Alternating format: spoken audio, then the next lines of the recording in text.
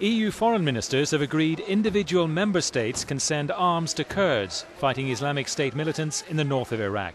France and US have already moved to supply military aid, while Germany has warned it cannot stand by and watch people being slaughtered.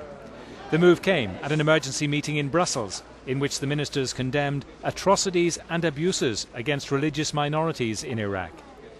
The crisis in Ukraine was also on the agenda, with the discussions prompting a request to Moscow to call upon Russia to engage with the international community to bring this crisis to an end, to ensure the territorial integrity of Ukraine and the future for the Ukrainian people in their own country, and to work with the international community to achieve that. Ukrainian Foreign Minister Pavlo Klimkin has said he will meet Russia's Sergei Lavrov along with their counterparts from Germany and France in Berlin on Sunday. Friday's emergency meeting in Brussels was called by France, whose Foreign Minister Laurent Fabius had criticised the EU for inaction on Iraq.